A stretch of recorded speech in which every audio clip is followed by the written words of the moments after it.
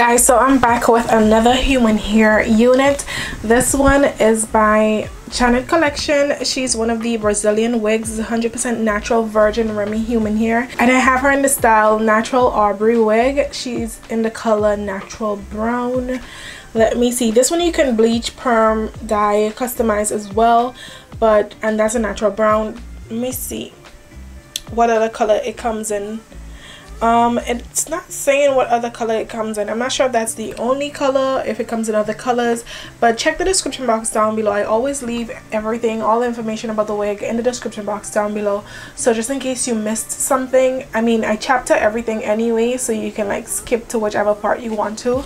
But at the same time just know that i leave all the information about the wig in the description box down below. So if i'm forgot to mention anything just check down there and you will see it. So i'll leave the colors that it comes in down there. So just in case it comes in any other colors that will be in the description box. And i'll leave a link for you guys to go purchase just in case you're interested in this one. So you guys know we always get um these bang units. When it comes to human hair we always get like a short bang unit always it never fails right?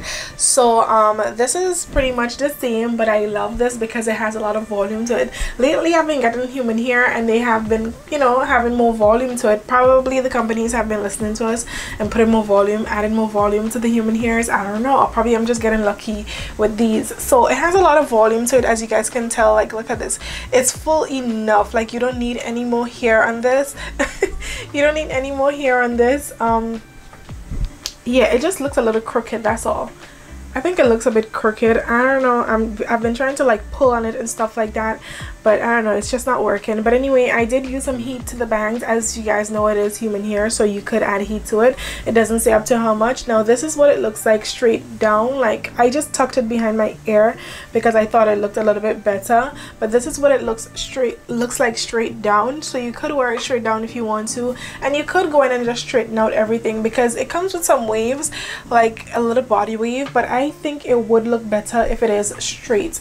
Okay but this is what the stock card looks like as you guys can see she has like a little body wave going on there. So it is a body wave but I don't know I'm not really feeling the body wave. I think it would look better if it it's if it's just a straight wig.